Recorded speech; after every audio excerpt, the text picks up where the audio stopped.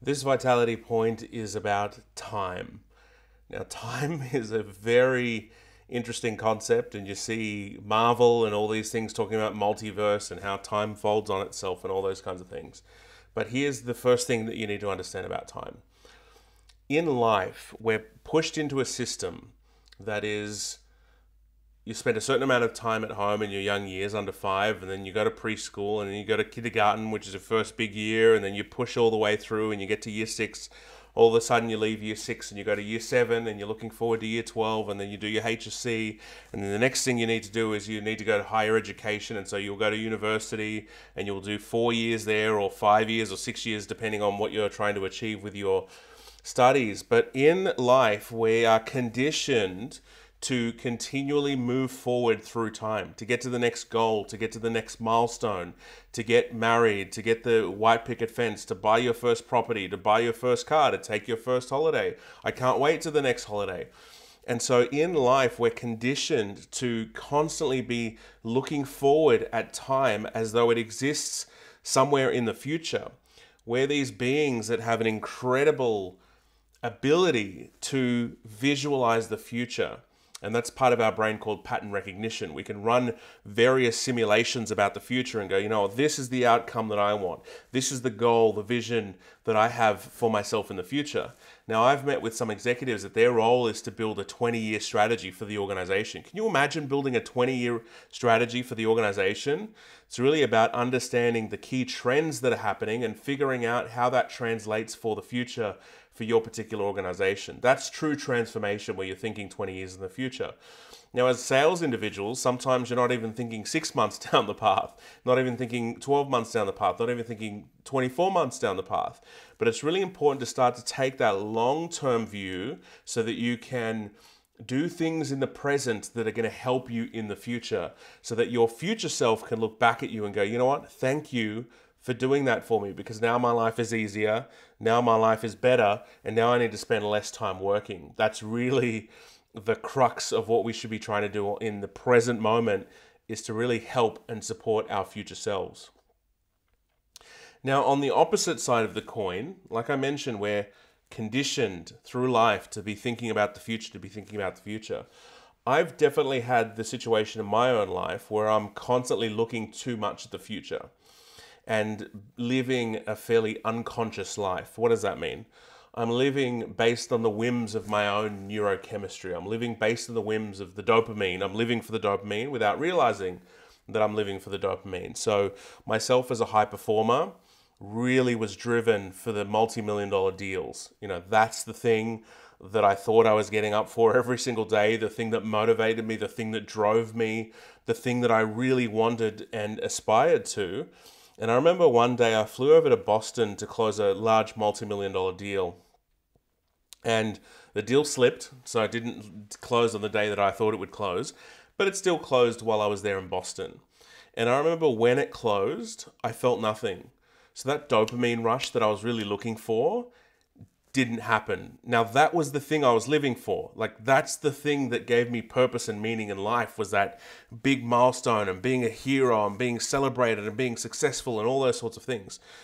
My neurochemistry didn't support didn't support me any longer to release that dopamine when I achieved that level of success or when I closed those large multi-million dollar deals. And I remember just sitting there thinking, well, that was uneventful. Like that was mediocre. like the, the feeling, the emotion that I got was mediocre. It wasn't a good feeling. And all of a sudden I thought, what, what am I doing? What do I love doing? Do I even love what I'm doing? Am I passionate about this still? Why did I feel a certain way in one part of my life and then all of a sudden I'm here closing these multi-million dollars deals? I've flown across the world in order to close this deal. This should be a real celebratory moment. This should be a pinnacle for me and all of a sudden I felt nothing. And the reason that that happened to me was because I lost sight of what was truly important of life. And it's to do with time. So in life, we are conditioned to think about time as this linear thing, sequential thing that we work towards. But what a lot of human beings don't understand is that time has depth. We're always thinking about the x axis in life as we go through life, but we fail to realize the y axis, the depth of time. So each particular moment, and I'm feeling it right now, I'm feeling this stream of consciousness as I'm not thinking about this video or the end of this video or what I need to say to, uh, to, to help equip you. I'm really now starting to develop a deep sense of awareness for the present moment. And when you develop a deep sense of awareness for the present moment, you should feel a rush of endorphins. You should feel joy that's sitting within you. Yeah, you might feel other things. You might feel frustration. You might um, learn something about yourself that you don't really like, and you've got to figure out how to manage that and how to get better and all those kinds of. Yes, you might have those things, but at the deep underlying level, what you should have is a baseline of joy. We're not waiting for six months when that deal closes to feel joy. No, we're feeling joy today because otherwise, what happens, we live a life of illusion. We're chasing things that don't really matter at the end of the day in the grand scheme of things. These things don't actually matter. What matters is how we feel about ourselves right now. And yes, we can push and be in the top 1%, and we can have huge, ambitious goals, and we can push, push, push. Yes, I endorse that. I advocate for it. I think every person should be as successful as they can possibly be. But what we need to do is start from a baseline of strength by understanding that time has depth. So I want you to today think about that depth of time. Think about what you're doing when you're with your loved one, or when, when, when you're with your kids, or when you're with your dogs, or when you're with your colleagues who you love, or your friends, or whatever it is. Stop and experience the moment as it is. Stop and experience the present moment for what it is. And I want you to feel a sense of gratitude for the present moment. And there is a spring of joy that you can use to propel you forward into a really vibrant future.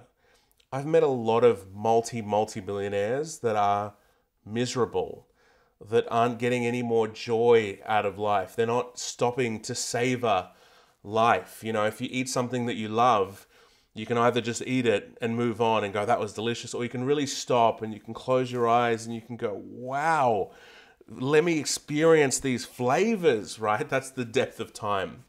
And so you can do that without the food. You can do that in life and you can really stop and slow down and savor the moment. Like right now, I'm enjoying what I'm doing. I'm in a dimly lit room. It creates, uh, it gives me a higher level of creativity.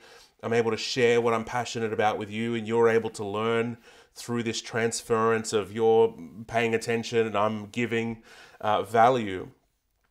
And I really enjoy that. I think that's really cool. But I could just let this video run past and just go like a robot and tell you what I have to say and then move on. But no, I want to experience this present moment as it is. And I want to experience the joy that it has. And you can see that I'm already smiling because I'm feeling a deep level of, of enjoyment.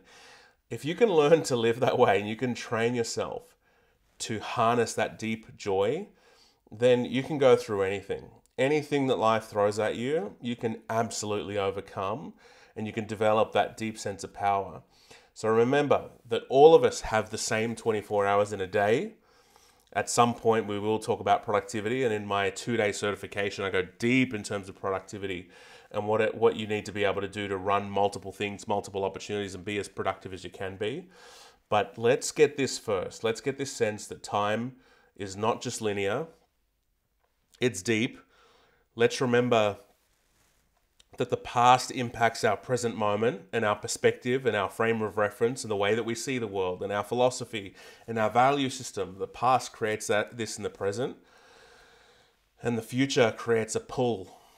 The vision, the goals, the ambitions, that's the future. That's the future calling out to the present. And your role is to navigate all that. Your role is to go past, chill out, you stay there. I'm going to understand life without all these preconceived notions that I have, and I'm going to open up my mind and I'm going to take in new ideas. I'm going to hold two opposing ideas that could look conflicting and hold them up both as true and weigh them both up without making any judgments. And you can look to the future and go, future self, just just chill out for a sec. I need a moment for myself. I need a moment to enjoy this. And you all know the phrase stop and smell the flowers. And that has deep meaning because it's about going into the depth of the moment and experiencing the depth of what's truly here right now. That was time. I hope you enjoyed that. I'll see you in the next video.